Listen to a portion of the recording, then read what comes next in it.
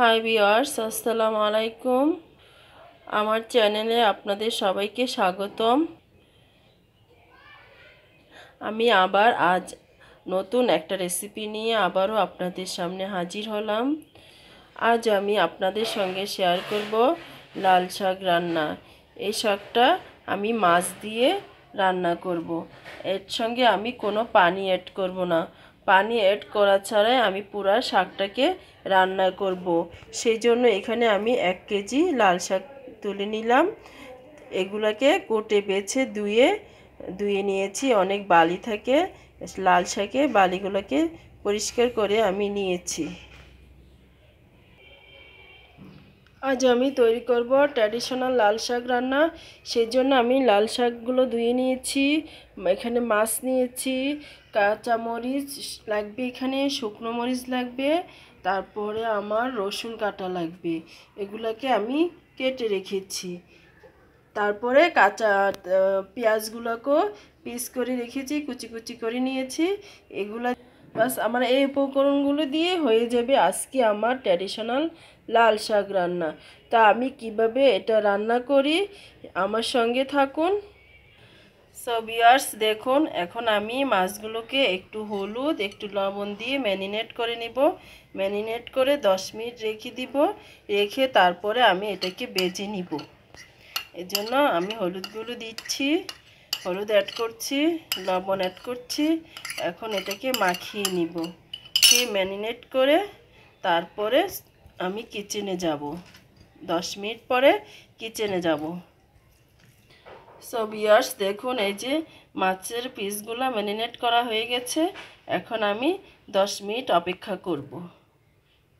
হ্যাঁ বিয়ার্স এই যে আমি এখন কিচেনে প্যানে আমি তৈল দিয়ে দিচ্ছি, প্রায় চার টেবিল চামচের মতো। তৈলটা ভালোভাবে গরম হয়ে আসলে তারপরে আমি মাছের পিসগুলি দিয়ে দিব। তৈলটা ভালোভাবে গরম হতে দিতে হবে। প্যানটাকেও একটু ভালোভাবে এইভাবে তৈলটাকে ঘুরিয়ে ঘুরিয়ে দিতে হবে। প্যানটা একটু তৈল তৈল হইতে হতে হবে না হলে মাছের পিসগুলি ভেঙে যাবে। এই যে দেখুন, তৈলটা একদম গরম হয়ে গেছে পারফেক্টভাবে। এখন আমি মাছের পিসগুলো দিয়ে দিচ্ছি। মাছের পিসগুলো এভাবে বেজে নিতে হবে। তেলে বাঁচতে হবে।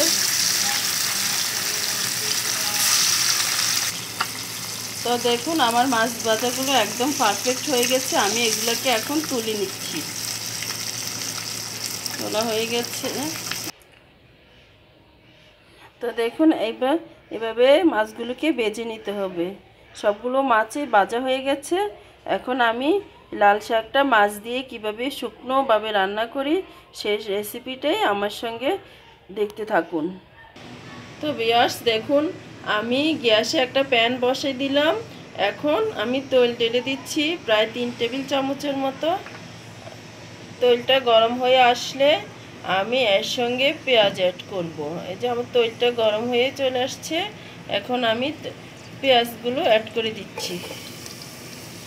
তার সঙ্গে রসুন কাটা দিলাম, এক টেবিল চামচ। কাঁচামরিচ দিচ্ছি, এক টেবিল চামচ। এগুলোকে এখন আমি বেজে নেব হালকা বাদামি হওয়া পর্যন্ত। এগুলোকে নেড়ে চেড়ে হালকা বাদামি হওয়া পর্যন্ত আমাকে অপেক্ষা করতে হবে। নেড়ে চেড়ে দিচ্ছি।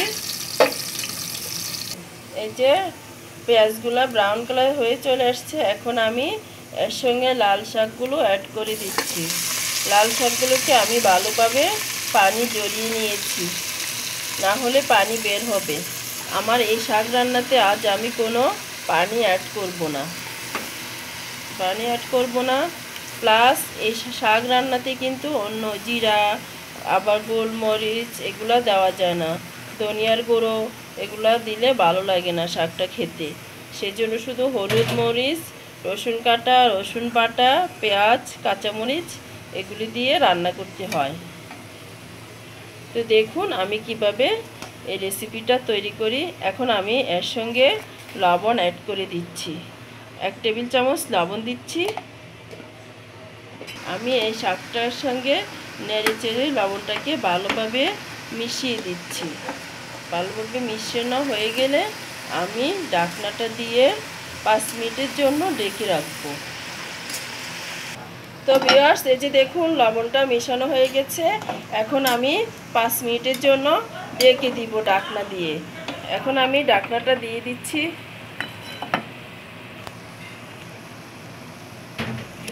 হ্যাঁ,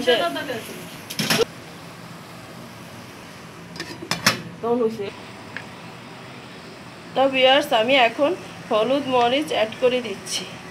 প্রথমে হলুদ মরিচ দেওয়া যাবে না। লবণগুলো মিশিয়ে শাকটা একটু চিমে আসলে তো হলুদ আর মরিচ অ্যাড করতে হয়। এখন আমি এগুলোকে নেড়ে চেড়ে মিশিয়ে দিচ্ছি। এগুলোকে নেড়ে চেড়ে মিশিয়ে দেওয়া হচ্ছে। একদম পানি দিব না। পানি তার সঙ্গে অ্যাড করা হবে না। মিশিয়ে এখনও আমি আবার এটাকে পাঁচ মিনিটের জন্য কুক করব। পাঁচ মিনিট কুক করে আমি তার সঙ্গে মাছ অ্যাড করব। মেশানো হয়ে গেছে। এখন আমি ডাকনা অ্যাড করব। ডাকনা অ্যাড করে দেওয়া হয়েছে। তাই আমি অপেক্ষা করব পাঁচ মিনিটের জন্য। আমি আবারও পাঁচ মিনিট পরে ফিরে এসেছি। এখন আমি ডাকনাটা উল্টিয়ে নিচ্ছি। এই যে দেখুন, অনেকগুলো পানি বের হয়েছে। এখন আমি মাছ অ্যাড করে দিচ্ছি। এখানে আমি ছয় পিস মাছ দিয়ে এই শাকটা রান্না করছি। দেখুন, দেখতে অনেক সুন্দর দেখা যাচ্ছে। তো বিয়ার্স এই যে দেখুন, আমার ছয় পিস মাছ দেখা হয়ে, দেওয়া হয়ে গেছে। এখন আমি এটাকে আরও দুই মিনিট দুই মিনিট কুক করব। তারপর হয়ে যাবে আমার পারফেক্ট লাল শাক মাছ দিয়ে। লাল শাক রান্নাটা একদম পানি ছাড়া, দেখুন, একদম পানি ছাড়া রান্নাটা হয়ে গেছে। এখন দুই মিনিট আরও দুই মিনিট কোক হোক। তো বিয়ার্স দেখুন, এই যে আমার লাল শাক রান্নাটা একদম রেডি হয়ে গেল। তাই আমি একটা প্লেটে তুলে নিলাম। কাঁচা মরিচ দিয়ে খেতে এটা অনেক ভালো লাগে। আর আমি তো কাঁচা রসুন দিয়ে খেতে অনেক বেশি পছন্দ করি। সেজন্য আমি কয়টা রসুনের টুকরো নিয়েছি এখানে, যেগুলি দিয়ে পরিবেশন করতে অনেক ভালো লাগে। আমি এটা রসুন দিয়ে খেতে, কাঁচা রসুন দিয়ে খেতে অনেক বেশি পছন্দ করি। দেখুন, কাঁচা রসুনগুলো দাওয়াতে অনেক সুন্দর দেখা যাচ্ছে আমার রেসিপিটা এই লাল শাকটা বাজি করে খাওয়া যায়, আবার জল দিয়ে রান্না করা যায়, সব রকমে রান্না করা যায়, সব রকমই খেতে ভালো লাগে। আমার কাছে তো লাল শাকটা অনেক বেশি ভালো লাগে। বাচ্চারা তো লাল শাক দিয়ে খেতে অনেক পছন্দ করে। লাল শাক দিয়ে ভাতগুলো মাখালে অনেক লাল লাল হয়ে যায়। তারা অনেক দেখতে অনেক পছন্দ করে। লাল লাল দেখলে অনেকগুলা ভাত খেয়ে খেয়ে ফেলে। লাল শালে, লাল শাকের অনেক পুষ্টির গুণাগুণ আছে। যদি আপনারা সবাই এই সিজনে লাল শাকটা আবার সব সিজনেই পাওয়া যায় না, শীতকালে বেশিরভাগে পাওয়া যায়। আবার রসুনটাও শরীরের জন্য অনেক উপকারী। রসুন খেলেও শরীরের অনেক উপকার আসে। তাই আপনারা এই সিজনে লাল শাকটা রান্না করে খাবেন। আমরা তো খেয়ে থাকি সবসময়।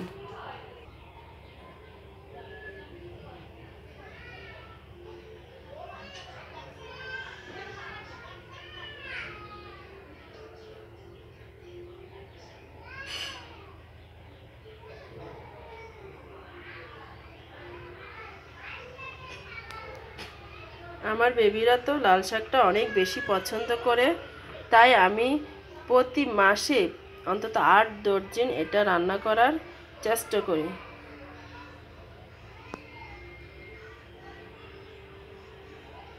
তো বিয়র্স যাদের কাছে আজকে আমার এই লাল শাক লাল শাক মাছ দিয়ে শুকনো রান্নাটা যদি ভালো লেগে থাকে, তাহলে প্লিজ সাবস্ক্রাইব দিতে ভুলবেন না।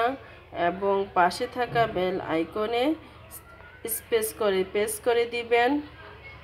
এই যে দেখুন, অনেক সুন্দর দেখাচ্ছে এই লাল শাক শুকনো রান্নাটা।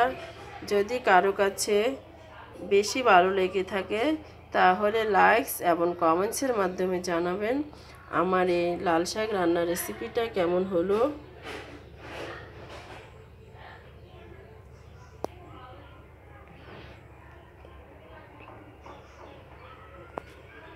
তো আজকের মতো আমি আমার প্রতিদিনকার ডেলি বলকটি শেষ করলাম।